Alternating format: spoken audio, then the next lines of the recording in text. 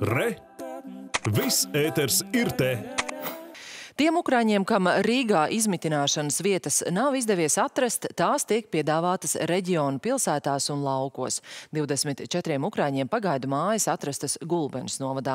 Lai gan ir lielpilsētu bijušie iemītnieki, kas uz laukiem atsakās doties, ir arī tādi, kas atzīst tieši šeit, klusumā un mierā no Mariupolē, Harkivā un filtrācijas nometnēs pārdzīvotajām karašausmām atgūties ir vieglāk.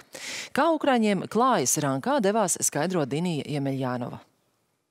Nelielo Rankas ciematu, kur līdz šim lielākā rosība ritēja pienotavu pamatskolu un muižu, tagad par pagaidu mājām sauc aptuveni simts ukrāņu. Vairums šeit ieradušies uzreiz pēc Krievijas robežas šķēršošanas, taču nu pat kā viņiem piebiedrojušies tie, kas izmitināšanas vietas meklēja, bet neatrada Rīgā. Pie kopmītnēm sastaptā Ļina nav viena no tiem, bet apstiprina, ka viņai kaimiņos vēl iepriekšējā vakarā iekārtojušies tautieši, kas atbraukuši no Rīgas. Rīgas. Varbūt jaunieši, kā jau visi jaunieši, grib uz lielo pilsētu, bet mūs šeit viss apmierina. Paldies visiem! Ir šeit iespējas gan atrast dzīvesvietu, gan darbu. Rankā, pienotavā, arī gulbenes novadā citur. Mēs izvērtēsim, ja nebūs kur atgriezties, paliksim šeit. Tāpēc arī latviešu valodu tagad mācamies. Taču ir arī citādi domājošie. Mums bija piemērs, kad eh, kādu brīdi atpakaļ Rankā mums atbrauca uh, no, no lielām Ukrainas pilsētām, un viņi nevarētu pieņemt to lauku dzīvi, vai ne? Cilvēks eh, meklē, meklē to, teiksim, varbūt savādāku komforta zonu, ja? bet tomēr beigās viņš saprot, ka viss ir pareizi, kad viņš ir pareizi pēc adreses nonācis, kur tomēr ir mierīgāk un, un labāk un, un, un, un, un foršāk, viņš drošāk jūtas. Ukraiņiem Gulbenes novadā dzīves vietas atrastas sešās vietās. Visas tās ir nelielos lauku ciematos tirgus. Tur, protams, visu dzīvē Latvijā nepieciešamo nevar iegādāties vai nokārtot, tāpēc šad tad jānokļūst arī gulbenē vai pat galvaspilsētā.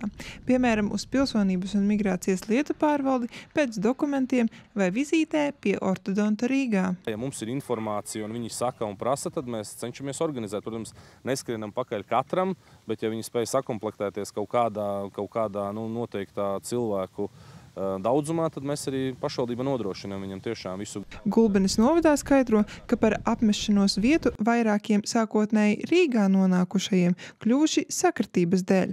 Pagājušo nedēļu gandrīz 30 ukraiņi vienlaicīgi nolēmuši doties prom.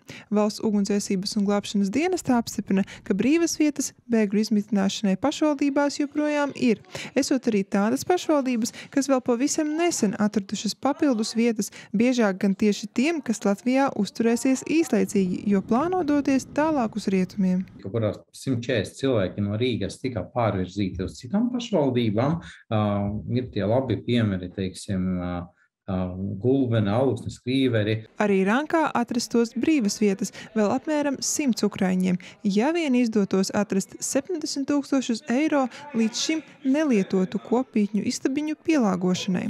Vienlaikus tur atzīst, ka jūlija beigās pašvaldībā būs jālemj, vai valsts finansējuma samazinājuma dēļ nenāksies no ukraiņiem prasīt nelielu, bet tomēr maksu par dzīves vietu. Arī ukraiņos pieaug neziņa par nākotni. Grūti iedomāties, kā būs pēc trīs mēnešiem, kā šeit dzīvosim turpmāk. Nezinu. Nezinām, kā būs bez maksas par maksu. Ja būs par maksu, mums būs ļoti grūti, bet pagaidām ir normāli. Larisa vēl piezīmē, ka priecājas par to, ka arī dēlam un viņa sievai, mazmeitas Arīnas vecākiem, darbs atradies arī šeit. Pagaidām laukos dzīve rit mierīgi. Dīnija Jemeļanva, Māris Justs, Latvijas televīzija.